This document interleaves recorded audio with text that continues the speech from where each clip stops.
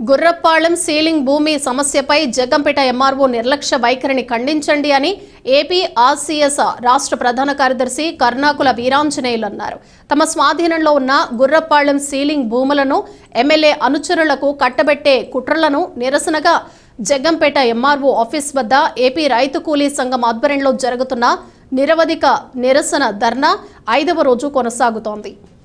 ఈ సందర్భంగా AP RCS రాష్ట్ర ప్రధాన కార్యదర్శి కర్ణాకుల వీరాంజనేయులు మాట్లాడుతూ జగ్గంపేట ఎంఆర్ఓ గారు గుర్రంపాళెం సీలింగ్ భూమి సమస్యపై మొండి వైఖరితో వ్యవహరిస్తున్నారని మండలంలోని గోవిందపురం వచ్చిన ఆర్డీఓ కూడా ఎంఆర్ఓ ఆఫీస్ వద్ద జరుగుతున్న నిరసన ధర్నాను కనీసం కన్నెత్తి చూడలేదని మండిపడ్డారు.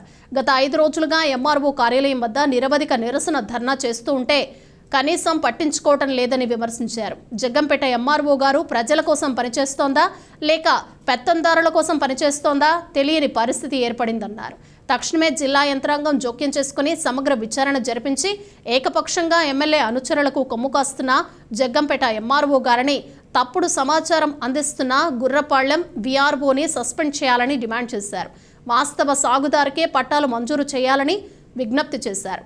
లేని పక్షంలో కరపత్రం వేసి గ్రామ గ్రామాన విస్తృత ప్రచారం చేసి ఆందోళన కార్యక్రమాలు ఉధృతం చేస్తామని సమస్య పరిష్కారం అయ్యేంత వరకు నిరవధిక ధర్నాను విరమించబోమని హెచ్చరించారు. ఈ కార్యక్రమంలో ఏపీఆర్ సిఎస్ రాష్ట్ర నాయకులు కొండ దుర్గారావు జిల్లా అధ్యక్షులు వల్లూరి రాజుబాబు ఏఐఎఫ్టియు జిల్లా అధ్యక్షులు కుంచె అంజిబాబు ప్రగతిశీల మహిళా సంఘం స్త్రీ విముక్తి జిల్లా convener Vadlamuri Mangadevi APRCS division కార్యదర్శి దేశెట్టి సురేష్ నారాయణమూర్తి చేదులూరి లక్ష్మి వడ్లమూడి యేసురత్నం కూసే లావణ్య వడ్లమూడి లోవలక్ష్మి కుంచే మహాలక్ష్మి చార్లెస్ సత్యబాబు తదితరులు పాల్గొన్నారు.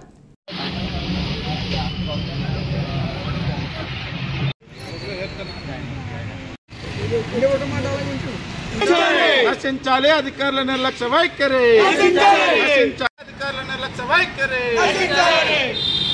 సీలింగ్ భూములను ఎమ్మెల్యే అనుచరులకు ఇచ్చే కుట్రలను ఖండించండి ఎమ్మెల్యే అనుచరులకు పట్టాలు ఇచ్చే కుట్రలను ఆంధ్రప్రదేశ్ రైతు కూలీ సంఘం రాష్ట్ర ప్రధాన కార్యదర్శి కర్ణాకుల వీరాజనేని మాట్లాడుతున్నాను ప్రధానంగా కాకినాడ జిల్లా మన్ కాకినాడ జిల్లా జగ్గంపాడు మండలం గుర్రప్పాలెం పంచాయతీ పరిధిలో బలభద్రపురం గ్రామంలో దాదాపు పంతొమ్మిది వందల డెబ్బై ఒకటిలో ల్యాండ్ సీలింగ్ చట్టం వచ్చింది దాని నుంచి ఆ భూములు ఏదైతే ల్యాండ్ సీలింగ్ చట్టం వచ్చిందో ఆ ల్యాండ్ సీలింగ్లో భాగమే అందులో జెండాలు వేసి కేసులు పడి స్వాధీనం చేసుకోవడం జరిగింది రైతు కూలి సంఘం ఆధ్వర్యంలో దళితులు ఓ ఇరవై కుటుంబాలు. దాదాపుగా లేదంటే ఓ ఇరవై సంవత్సరాల నుంచి వ్యవసాయం చేసుకుంటూ అందులో పెద్ద దుప్పలు దొంకలతో ఉండి సీలింగ్ భూమి కాబట్టి వారు వదిలేశారు. ఆ రైతులు వదిలేశారు కాబట్టి ఆ భూస్వాములు వదిలేశారు. ఆ తుప్ప దొంక తీసుకున్న దళితులు ఇరవై ఏళ్ళ నుంచి సాగు చేసుకున్నారు ఎన్ని ప్రభుత్వాలు వచ్చినా కూడా ఆ భూముల జోలికి రాలేదు అటువైపు కన్ను కూడా పడలేదు. ఈ వైఎస్ఆర్ ప్రభుత్వం వచ్చిన తర్వాత ఈ జగ్గంపాటి ఎమ్మెల్యే గారు అనుసరు వర్గం దాటి మీద కళ్ళు పడ్డాయి. కళ్ళు మీద పడి ఆ భూములు ఏవైతే ఉన్నాయో ఆ భూములకు సంబంధించిన విషయంలో వైఎస్ఆర్ కార్యకర్తలకు పట్టాలు ఇవ్వాలని జగ్గంపేట ఎంఆర్ఓ గారి మీద ఒత్తిడి తీసుకొచ్చారు. జగ్గంపేట ఎంఆర్ఓ గారు ఏం చేశారంటే వైఎస్ఆర్ కార్యకర్తల లిస్టు కలెక్టర్ గారు పంపించారు. ముందు బోర్డు పెట్టారు నిషేధ బోర్డు. అందులోకి వెళ్తే జైలేస్తాం తుప్పలు ముట్టుకుంటూ జైలేస్తాం వేస్తాం పెడితే జైలేస్తాం దుంప అది ఎప్పటి నుంచో దుంపతాడ కనిసేను చేసుకున్నారు వాళ్ళు. ఇరవై ఏళ్ళ నుంచి చేసుకున్నారు. కొత్తగా వచ్చినటువంటి ఎంఆర్ఓ గారు బోర్డు పెట్టారు. ఎందుకు? అధికార పార్టీ ఒత్తిళ్ళతో తలవక్కి ఇంకేమున్నాయో మాకు తెలియవు. అయితే ఎప్పుడైతే బోర్డు పెట్టారో బోర్డు పెట్టిన కాడి నుంచి ఇంకెవరు ఉంటారు మన జిల్లాకి? కలెక్టర్ గారి దగ్గరికి ప్రతి సోమవారం ప్రతి సోమవారం ప్రతి సోమవారం కలెక్టర్ గారి దగ్గరికి జాయింట్ కలెక్టర్ గారికి చెప్పారు. జాయింట్ కలెక్టర్ సూపరింటెండెంట్ కప్పు చెప్పారు. ఆ సూపరింటెండెంట్ మొత్తంలో తిరుగుతానే నువ్వు కాళ్ళు అరిగేటట్టు ప్రతి సోమవారం ఎందుకంటే ముఖ్యమంత్రి గారు దళితుల ప్రభుత్వం అని చెప్తున్నారు.